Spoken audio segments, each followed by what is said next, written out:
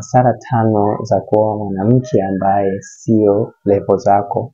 Ni muhimu sana kujua kwamba uh, kuna levo kati ya mwanaume anapokuwa katika hiyo levo. Mfano, mwanaume anayepata elfu mbili kuna levo ambayo anatakiwa aweze kuoa mwanamke wa elfu mbili. Kama anapata elfu tano kuna levo ambayo unatakiwa kuoa mwanamke wa elfu tano.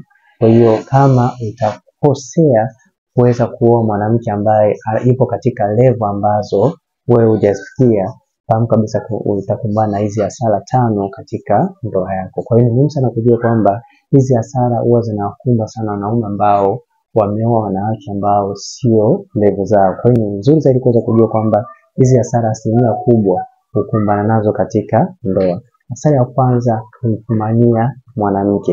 Ni muhimu sana kujua kwamba uh, kama utaoa mwanamke ambaye sio levo zako, kwa kawaida yule mwanamke atakuwa anachepuka na watu ambao wapo katika levo zake. Kwa hiyo hii ni mojawapo ya hasara ambayo utakumbana nayo katika ndoa, yaani utakuta uta, uta, utamfumania mwanamke akichepuka na wanaume ambao ndevu zake. Kwa hiyo ni muhimu sana kujua kwamba hii ni hasara kubwa sana ambayo utakumbana nayo baada ya kuwa mwanamke ambaye sio levo zako.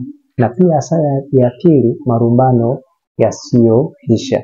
Ni muhimu sana kujua kwamba mwanamke ambaye sio refu zake, kwa kawaida, refu zako mwanaume, kwa kawaida huwa ana visababu ambavyo huwa vinaleta malumbano. Kwa hiyo pia ni mojawapo ya hasara kubwa sana ambayo utakumbana nayo katika hiyo ndoa, kama utaoa mwanamke ambaye sio levo zako. Na pia hasara ya tatu ni, ni, ni marumbano ambayo yanasababishwa na sababu ambazo zinahitaji mwanamke aweze kukuacha. Yaani unakuta mwanamke anadai kwamba mimi kwanza siku, sikutaka kuolewa na wewe.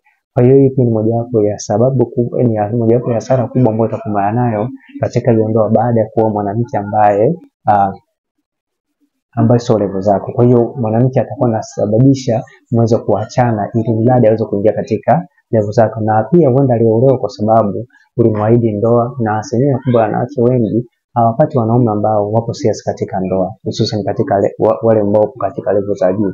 Kwa hiyo anapotokea mwanaume akaidi ndoa, asilimia kubwa ukubali, lakini wanapoingia katika ndoa huwa uh, anachukulia kwamba nimemsaidia huyu mwanaume.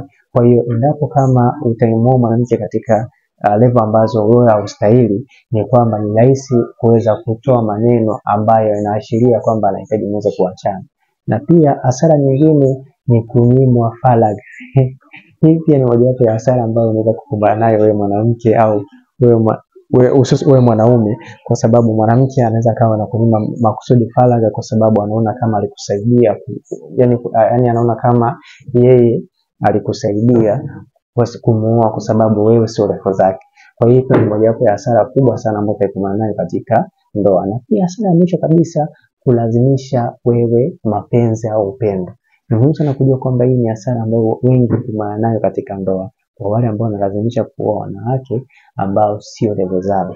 Kwa hiyo pia hii ni muhimu sana kujua kwamba hii ni hasara kubwa sana. Wanaume wengi huteseka, hutumia nguvu na mabavu ili waweze kupendwa, ili hali mwanamke anaweza akawa mpenzi. Lakini hii ni mojawapo ya hasara ya kwamba mwanaume atumia nguvu sana ya, ya kumwaminisha mwanamke anampenda, ili hali mwanamke anaweza akawa hayupo hayupokea na ule upendo ambao mwanaume anampa. Kwa hiyo hiyo ni mojawapo ya hasara ambayo wanaume hukumbana nayo baada ya kuoa wanawake ambao sio levo zao. Kwa hiyo ni muhimu sana kujua hizi ndio hasara tano ambazo utakumbana nazo baada ya kuoa mwanamke ambaye sio levo zako.